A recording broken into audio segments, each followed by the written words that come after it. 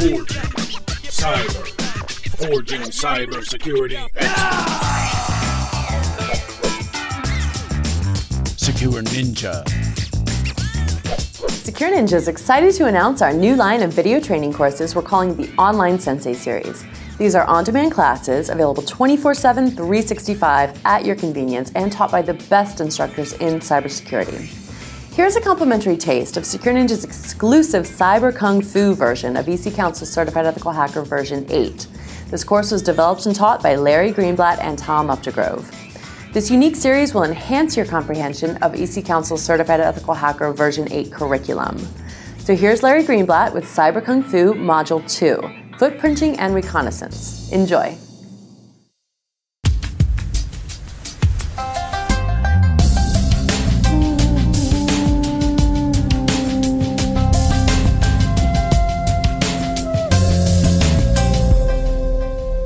Welcome to Module 2. Uh, officially, this domain is called uh, footprinting and reconnaissance, but I think maybe a better term would probably have been uh, passive footprinting and reconnaissance because we're really going to be doing this in the next uh, through module two and module three as module four as well. They're all basically reconnaissance, but here we're going to try and do it as passively as possible. So I don't want to alert the target uh, organization or uh, network that I'm trying to find out. Um, and I, I want to get information like what operating systems do you run? What version uh, of uh, firewall uh, OS? And I just go to a job uh, search and you're looking for somebody with Cisco PIX experience. All right, so I think that's a pretty good indicator that you're running uh, a, a, Cisco PIX. So again, footprinting and reconnaissance, official name of the domain, but the context really is very passive reconnaissance. So I want to learn about the people who work there. I want to learn about the machines that they have, you know, what hardware, and this will help me focus my attack, the operating systems, the versions, the applications. And people are very important too, right? I mean, that's, that's the major thing. It's people are sharing information. So that's the key, and, and, and that may really help uh, me understand uh, social uh, engineering vulnerabilities. Uh, in fact, I know I'm vulnerable to them too. I always worry when I teach this stuff that people go, "Oh yeah, you think you're so great," and they'll use me to attack me. I'm like, no, I don't think I'm that great. I, I think I know some things. And as uh, our, our teacher Joe Lewis said, he hated followers. You know, he said, uh, "I hate a follower because I know I make mistakes in life, and when I make mistakes, followers don't help me. I need somebody as a leader in another field." So, uh, but there are some neat things we can figure out, and as we say, hacking is uh, figuring things out, make something cool happen. So we're going to look at job sites. We're going to look at news sites. Google. Uh, Johnny Long wrote the book uh, Google Hacking. I think in 2005, totally revolutionized the entire uh, world and um, uh, of penetration testing. Actually, it's called Google Hacking for Penetration Testers, and just amazing some of the stuff. I mean, it's embarrassing. Like the, perhaps the worst is these people plug in these cameras and whether it's NetAccess, Panasonic, whatever, they all have this webcam capability. Well, that means there's a URL search string. And well, I could put in URL, do you have this string, and identify all these insecure cameras. And I'm not going to do it here because uh, I just don't want to expose anybody. But gosh, you try it at home and, and it's pretty bad. You'll, you'll find yourself. Some of them, if it's like a .edu, they may have wanted it that way. But if it's an IP address, it's very likely somebody's house, and, and they don't realize their, their camera's there for everybody. Um, Laura Chappell says, uh, what happens in Vegas stays in Google Cache. Actually, probably a better uh, place there is the Internet Archives. When I show this to people, uh, they're often, if you're not aware, shocked that pretty much everything that's ever been on the Internet is archived. So uh, I'll go over to the Internet Archives here. This is what my website looks like now.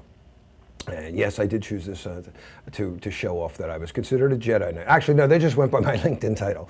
Uh, but I did win an award last year for the EC Council. That was a great honor. Uh, and uh, if I explain my logo, we like to think that uh, Tom and I are helping take ancient wisdom of the past, right, our, our, martial arts knowledge, the art of war, and linking us to the future. I'm a big space cadet, and you'll notice that's an O'Neill space colony. Uh, so I, I, think that the, the, all the problems we're having today, it's really, we're going through some rough times today with um, changes in, in the environment and, and things like that. And I think the solution is to keep going further. If we get all of manufacturing into space, we'll alleviate most of our environmental problems. I don't want to go back to a simpler time. All right, but what did my website used to look like? All right, so um, the Wayback Machine, I'm going to click there. I put my, my address in there. And wow, let's say up to now, they have 364 versions of my website going back to October 2001. What did it look like then? Wow. Yeah, what happens in Vegas stays on the internet, guys. This is why I warn kids now. I say it all the time that uh, besides loss of life, the worst loss is reputation. I don't have anything that I know it's embarrassing up there that I know of. Um, so I don't contact them. Apparently, if you contact the Internet Archives, they would remove things if you say, I'd rather that it's not up there. Uh, but most people don't know it's there. And this is why awareness is your number one countermeasure. If you weren't aware that this stuff happens, and I, I, I, coach a lot of kids, we have a lot of kids at the karate school, it's our largest uh, audience there. And I get to work with it, and I, I tell them, you know, be careful on the internet. You know, be careful what you put up there. You can't just erase it. It's still up there. All right. Um, by the way, for your test, historically, there's always been a couple of questions on the archive. So remember archive.org. Now, there's a lot of ways to uh, uh, query the WHOIS registrars. Uh, I believe on your test you may have to do it from the command line. But Sam Spade is a very old tool that I love. It hasn't been updated, I think, in 13, 14 years, but it does a lot of great stuff. So using Sam Spade, uh, I looked up my website, actually, you know, who registered this domain name. And some people put in real contact information, could be used for reconnaissance later or some social engineering vulnerability. Um, but I also get a lot of other information like the name servers here. Now, there are some built-in tools. I could uh, crawl the website, mirror this entire website to a local directory and search that for email addresses, for hidden form values. Nice. Yeah, uh, this is an old tool. I don't know that I would actually use this tool for mirroring though. I found that, um, and you may need to know this for your test too, uh, that there's a, a, a, file called robot.txt that a web server will have, and it's kind of an agreement. Hey guys, to see these directories here, um, would you not query or, or, crawl those directories, please? Thank you. And um, Sam Spade seems to respect that. But I could use a tool like HTTrack, and I could tell it to ignore it and I get a lot of uh, good pen testers in my class. I'm very lucky to have uh, students who are smarter than me, but they share it with me. And they, and said, actually, you look in robot.txt, and that's where you want to go. Because they're saying, don't look in this room, mm, let me look in that room. Right, so pretty cool. Now that's for my uh, server, for the web server, but I have my domain name servers here, and I can click on that, right? And now that came up here, so that's my DNS. And now uh, I could check to see if I can download the entire zone records uh, which my ISP doesn't like when I do. I can remember though when I started here, you could always download um, universities. They were always available. And that could be um, uh, useful not only as a reconnaissance attack, but suppose I spoofed your IP address and then I asked for zone transfers from everybody. Probably do a nice uh, denial of service there. Yeah, they call those uh, DNS amplification attacks. So you can use tools as amplifiers as well. Uh, Netcraft, uh, if I want to scan a site and I want to know what OS you're running and I run an Nmap port scan, uh, you're going to see it. Their, their IDS will register that IP address. Just try to do that. well, Netcraft is always doing that for you anyway. So I could go to Netcraft, oops, and um, they searched Internet Network Defense, and they told me all kinds of stuff. Look at that. Uh, they're currently at GoDaddy. They run on Linux. Here's the IP address. They run Apache. And nobody in Internet Network Defense saw that, right? They, they didn't see me I do it. They saw Netcraft do it.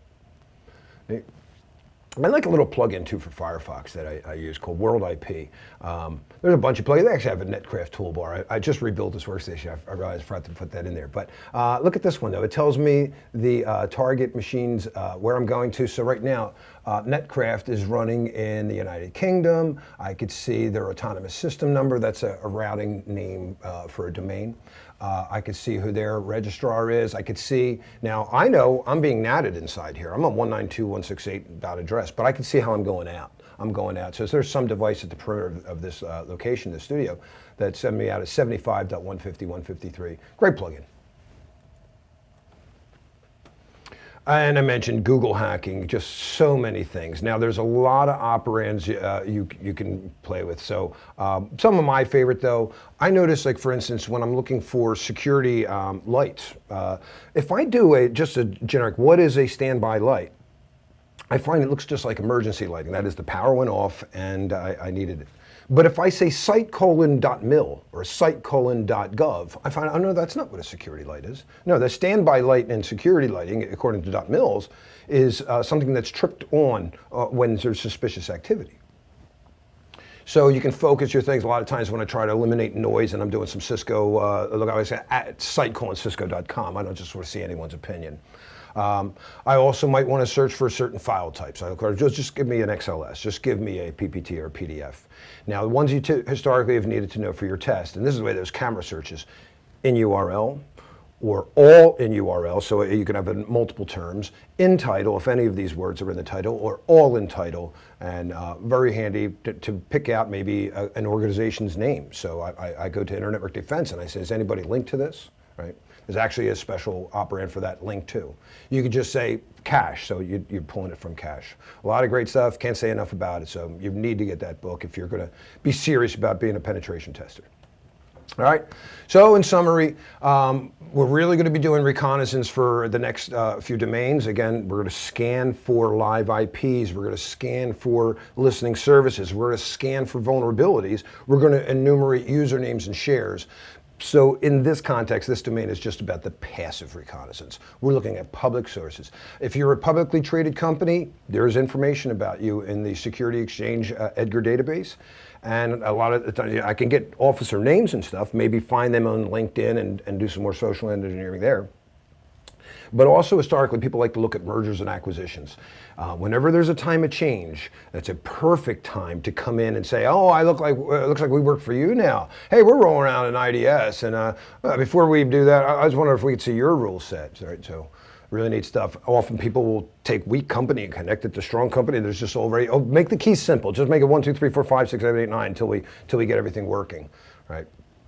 Or people searches. Now, sometimes they'll just do like a basic background. Usually these things want a little extra money if they want to find more. But just looking up somebody's name, you can find out so much public information. Uh, were they ever arrested? Uh, where do they uh, have uh, uh, houses? Did they ever own a house? It's amazing how much stuff is really publicly available and social networking circles. You know, people always warn me because I'm a big Facebook user. Like, dude, I wouldn't use Facebook, man. You know, the NSA is looking at that. China's looking at that. Hackers look.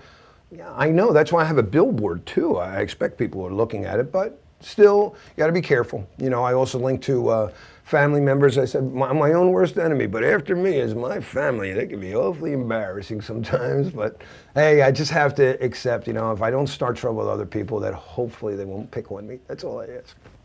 And, and you know, of course, there's always going to be criminals.